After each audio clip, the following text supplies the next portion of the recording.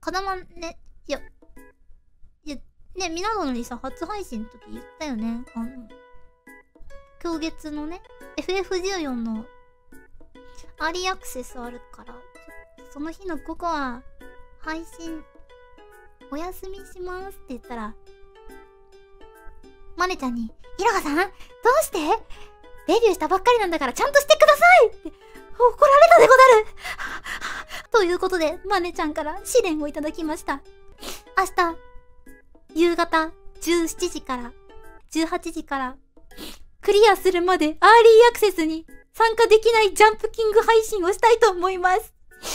辛いでござる。クリアするまでアーリーアクセスやらせてもらえないでござる。取り上げられたでござる。風間の FF14 が。取り上げ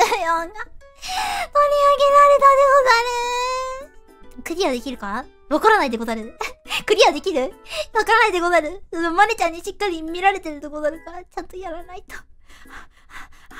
ちょっとやめてさよならアーリーアクセスじゃないんよ。やめて風間の、風間のアーリーアクセスを奪わないで。やめて。FF やれながら見るね。それはもう風間に対してのいじめないよ。やばいでござる。やばい。やばい。ほんとに大丈夫でござる。まあねちゃん。